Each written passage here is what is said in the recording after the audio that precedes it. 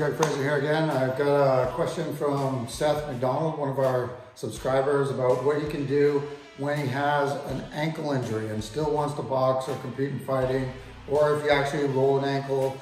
Uh, this is going to be talking about after the very basics of recovery, how you can now get an ankle that has already been injured, uh, possibly from a sprain or an Achilles injury, how you can get that back to being able to compensate and be able to still train and do your fighting.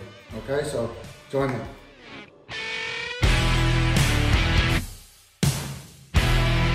For those of you who don't know yet, this is the Stealth Core Trainer. It's used primarily for plank training and so on for your for your abs and core. Uh, but I've adapted this to be able to use it with your feet. So for people that have ankle problems, Achilles recovery, or just doing your joint dexterity training, this is great.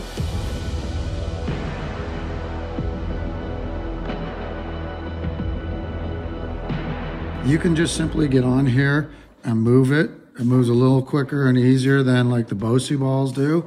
And there's games. You can go right down here and if you order it, you can set up your iPhone or your smartphone and play whichever games. I don't have that on, but if you look at Stealth Trainer, you can you can see how the games work.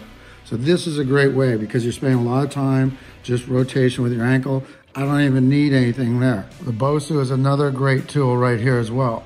And with the Bosu, you can either start with a seated position. You could do single leg rotations, ankles going every which way, okay? Double leg, and then again, gain into, now gain onto the ball and working your side to side.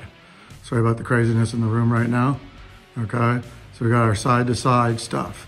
Another really good one is to switch, okay? So you have one foot in behind and one foot up front.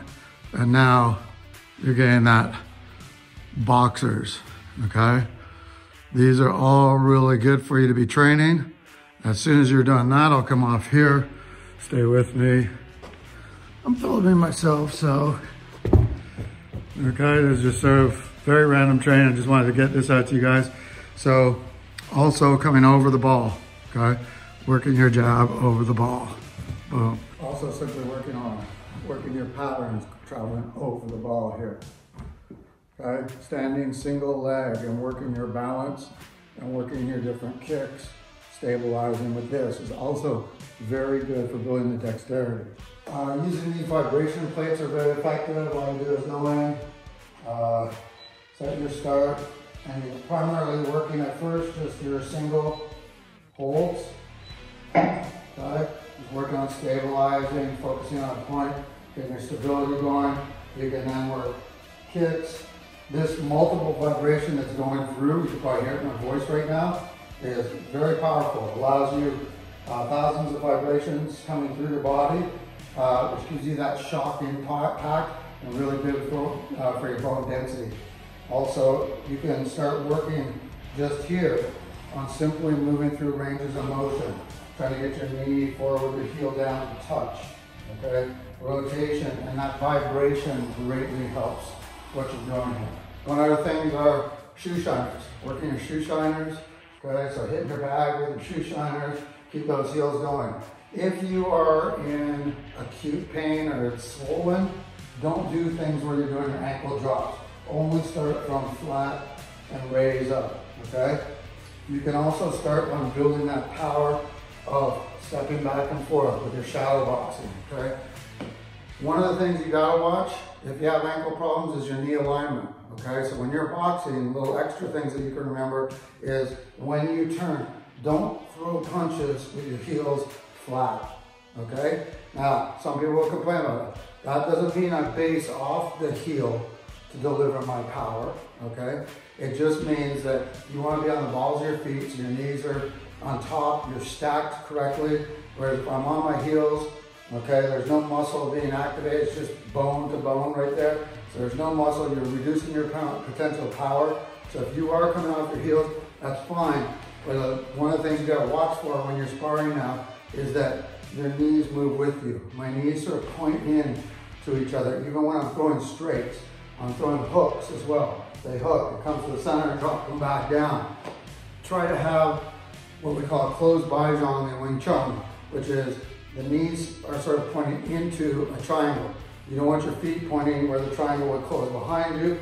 You want it to close relative to where your point, your punching is and your opponent's gonna be. So close off those knees in case you get kicked. Boom. You gotta be able to, be able to roll. If your heel's down, you're gonna get buckled, you're gonna get caught, you're gonna get tackled, you're gonna get all that stuff. So just by being in here, sitting a little bit down, building those legs, okay? Other things I did when I had the injury is just standing on your toes in the shower.